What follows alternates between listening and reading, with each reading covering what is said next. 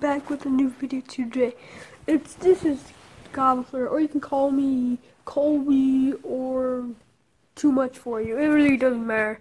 But what's up, guys? It's Gobbler, and I'm back. So today here, I'm gonna be sorry for the creepy background. I will go ahead and change that right about right now.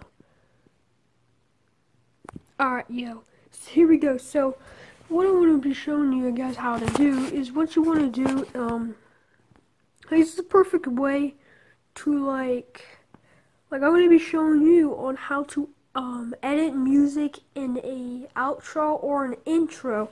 So what you want to do is you want to go ahead and download an intro or an outro.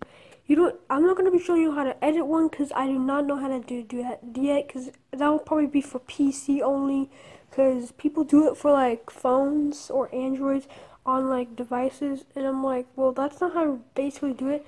I you can, it's still good, but it's not the best idea to do that. So yeah, so what you want to do is you want to go ahead and download Viva Video. I think it costs us one or two dollars to get rid of the watermark. Cause you guys know, no one wants a watermark, and this is probably the cheapest thing to get. It's for free on the App Store. Uh, it's free, and you know you just have to buy freaking I bought the whole future thing, feature thing. It's like five dollars or something. So I got all for free. So yeah. So what you want to do is want to go ahead and download something from Megabyte or not Megabyte, but you want to buy something from Mega or you can buy something for anything else. So what you want to do is you want to go ahead and download Viva Video 2 while you downloaded the intro. Once you have downloaded the intro, you want to go ahead and go click edit. As you can see, I have all the kinds of these. Um, so say I already downloaded this one, but say you have this, gonna add one or add multiple ones. Where'd you find this? So go ahead and pause the video, go to music, and then tap to add. Download some music or change the music to, I'm just gonna change it for here.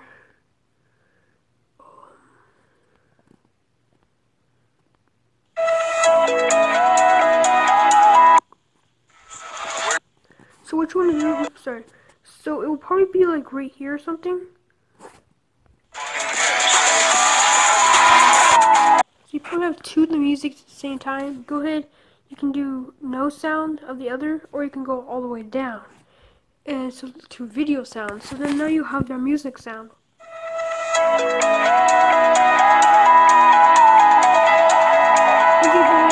Share and if you do want to get over five minutes of uploads, like always, you can't have like a 15 minute video going to Viva Video. You can't buy anything to get rid of that or update it, but you can't do anything for that.